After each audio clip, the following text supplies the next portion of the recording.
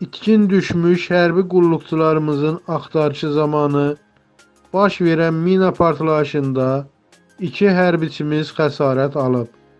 Bu barədə Oxu Azam Müdafiə Nazirliyindən bildirilib.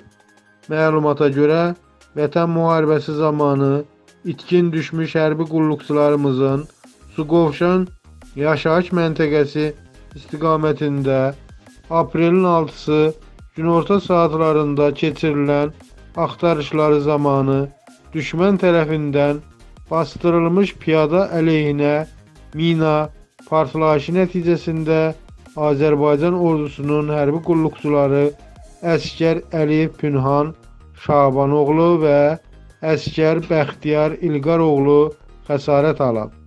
Həyatları üçün təhlükə yoxdur. Faktla bağlı araşdırma aparılır.